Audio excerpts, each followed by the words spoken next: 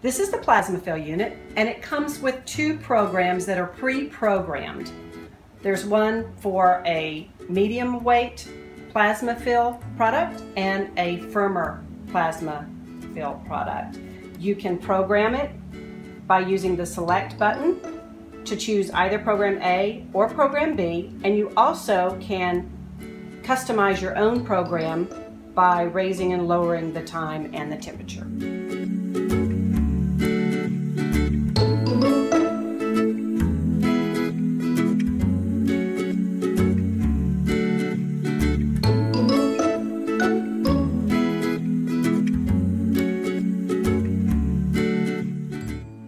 Now that our timer's gone off, we can remove the plasma fill product and as you can see it's changed color just a little bit and the consistency of it has changed.